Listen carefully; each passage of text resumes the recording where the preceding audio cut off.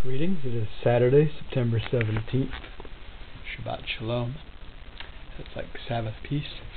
Uh, and um, on the lower right here, just for the documentation record, so there's the um, broken candlestick holders and two birds.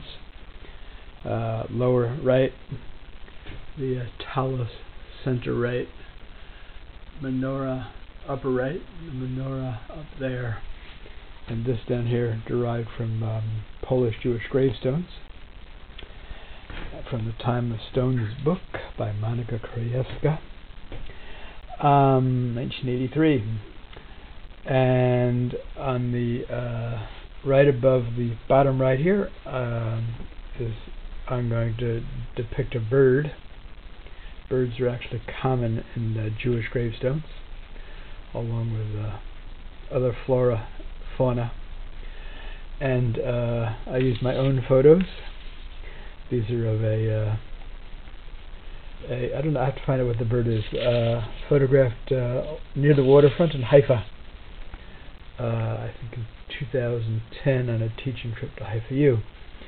So uh, this bird, I cut out the shape of, gets to move around a bit.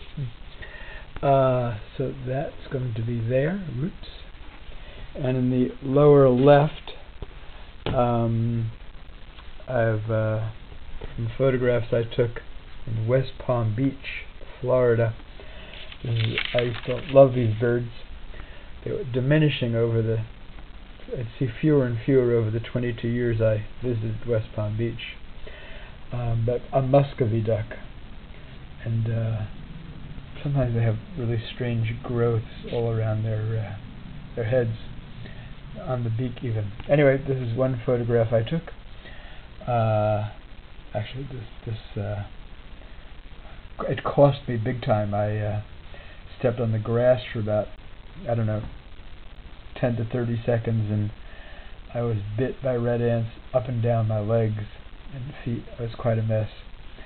Uh, totally inflamed, like really quickly.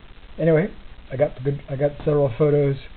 Uh, there's the uh, duck cut out for the shape, and that's going to go in the bottom left there. And uh, to be continued.